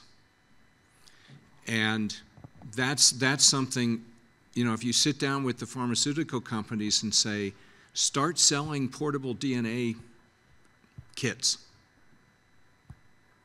as part of, then you can make money on, on anticipation, you can make money on prevention, as well as on uh, the, the, the, the treatment side. So there, there, there, are a lot of ways to do this. I mean, at some point, if we're going to be doing a, if we were actually going to be serious about looking for pathogens, what we call finding them before they find us, we're going to need a, a large supply of cheap sequencing stuff. It's not just going to be the, the grandparents and the grandkids, but then there's going to be a next level that's also going to need you know, massive amounts of cheap but, but high, high tech products I mean, some, it's basically the sequencing analog of this. You know, and what, what do you have if you have the ability to determine, you know, what species you're dealing with? And you've got a communications device and a, a photography device and, and, and all that in one handheld unit. Anybody ever watch Star Trek? It's called a tricorder. And there is this, this area of rapid DNA analysis called DNA barcoding. And there are prototype barcoders out there floating around already. So there, there are, there are, like you said, there are lots of ways that you can actually uh, maintain a profit margin and change the orientation of, of the, uh, change the business model in a sense. Okay, thanks then. That's, I think, our last question. Maybe there is a comment. Um, the comment or the, the thought that that I'm struggling with at the moment because I've, I hear quite a few rather different threads here. And there, we're kind of talking past each other to some degree, is the sense I have, all of which is interesting, any one of those threads. But if I'm going to think seriously about what you're asking about, okay, so what the hell do we do with this? The first thing that comes to my mind, and a, just as a, a thought, because I think what Thomas said in terms of the different populations one actually should be reaching if these stories are to start having an impact. I mean, we have these ideas, these threads. How do we make an impact? And one maybe totally crazy idea is why not a festival? And put it on the street do it very specifically. I've been involved in a number of these, and some more successful, some not. I'll bet many of us have done that. But the thought would be that to take some very specific examples, you have these wonderful examples, Dan, and many others. Uh, I mean, uh, you gave the example with the HIV. I mean, we had many already in the last day and a half or two days we can come up with many more, but then to translate those into events, into things that engage people on the street in and you bring in politicians, you bring in business, you set out panels that basically challenge these ideas in very practical terms and perhaps be rather provocative. Exactly. Exactly. And absolutely. Exactly. And and the the reason for the I mean you could just do another workshop here, but this is very limited. It's wonderful. It's a good it's the catalyst and the starting point, but where do we go and make that then happen somewhere? And I think if it's that kind of environment, I mean, thinking about New York uh, Festival of Science, Cheltenham, the Exploratorium, uh, New, um, North Carolina uh, Museum of Science and Life. I, I mean, there's, I can give you a long list, but the point is that those really bring a lot of people together and can get funding for it. And then the issues, if we were careful about it. The point is to collect that response and the people and use that then as the leverage to move these ideas forward.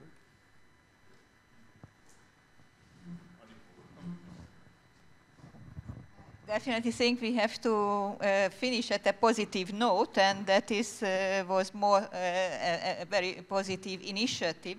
But I think uh, you raised a very interesting uh, topics, but it is something which has to be discussed over the dinner.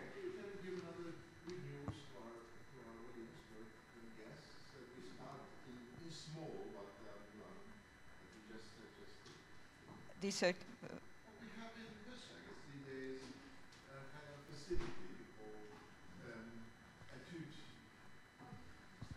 etudes on, on Europe when we try to combine music and uh, it's not a festival, but music and poetry um, with some kind of academic discourse, but, but open to everyone. And that's a small, very small. New York is, is a little bigger than Manhattan than Kőszeg. But we do have a Kőszeg Manhattan project, and with that, we, we started to entertain the Hungarian government. They fell in love with circular economy.